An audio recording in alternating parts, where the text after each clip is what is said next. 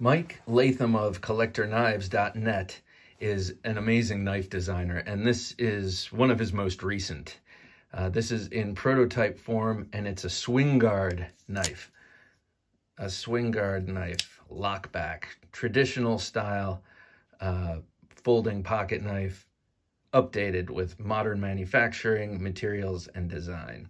This is made by Lion Steel, M390 steel, and uh, a clever design. I say clever because I love the way uh, it's sort of a gun stock and a gun stock pattern handle uh, set up to accommodate this swing guard in such a way that it just blends beautifully into the overall closed um, profile and fits nicely in a case.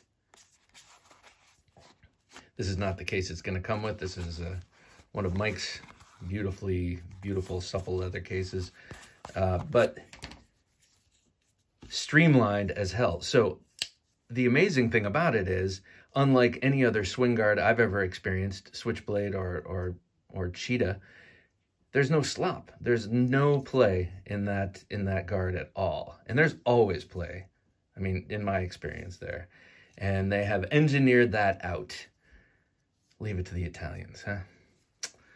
Uh, speaking of which, you got the crown spine. You've got some of the hallmarks of, uh, of Lion Steel and the Italian makers. Um, titanium bolsters here. You got carbon fiber.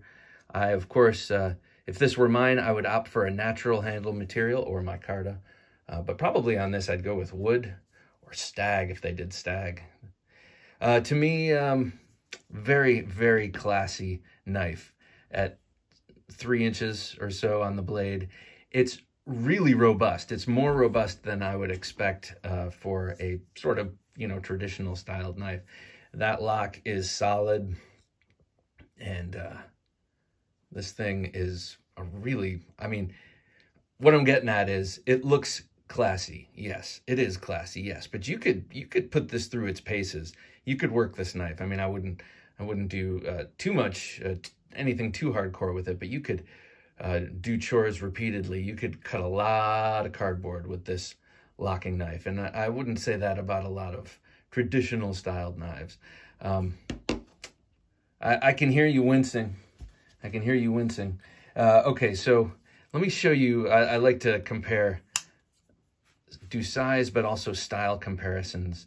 And this uh, this is the Buck 112 Ranger so it's about the same length. It's a locking, sort of traditionally styled knife. And, uh, you know, I would put them in the same kind of category. This gives you an idea of where, let's see, I should, I should go right there. This will give you an idea of uh, what, what you can expect. Here it is with the Kershaw Culpepper.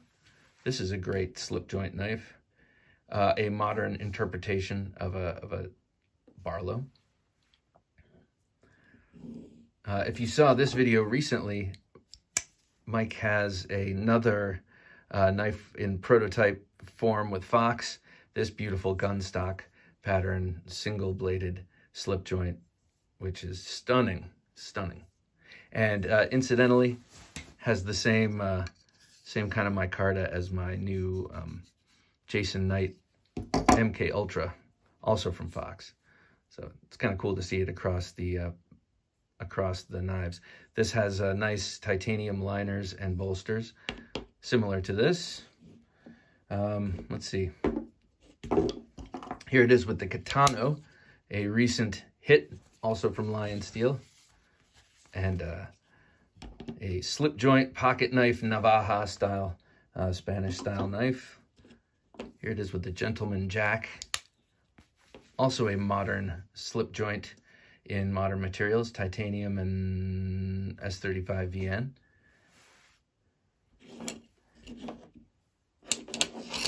And let me show you this with a couple of GECs. Here it is with the 15.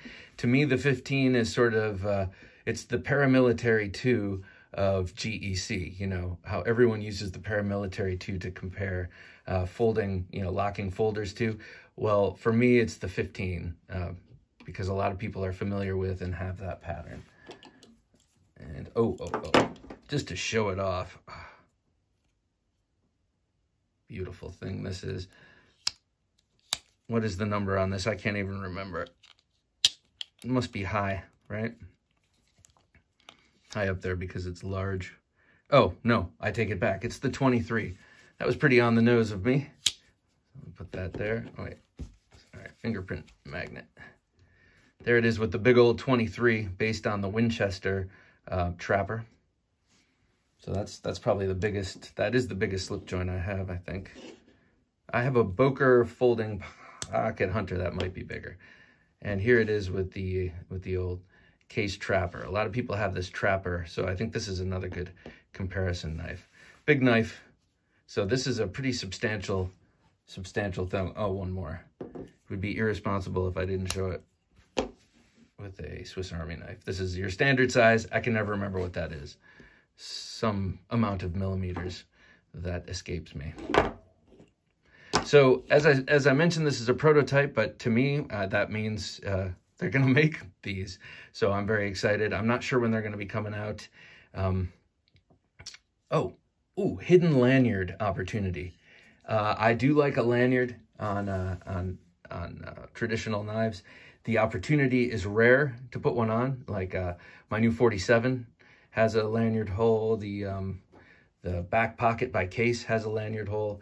Uh, the the Bullbusters and those ones uh, by GEC. So it's nice when you see that. I think this would look handsome with a with a like a um, brown leather kind of fob on it.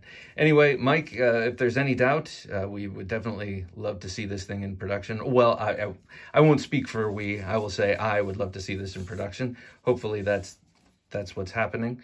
And hopefully by the time this video comes out, uh, these are almost ready to go. I know I've had these for a long time. So thanks, Mike, for letting me check these out. And by these, I mean this and this. Two stunning knives designed by Mike Latham, who really knows how to design a knife. Hang on, let me just give you a nice shot there. It is early. I have yet to warm up. Enjoy.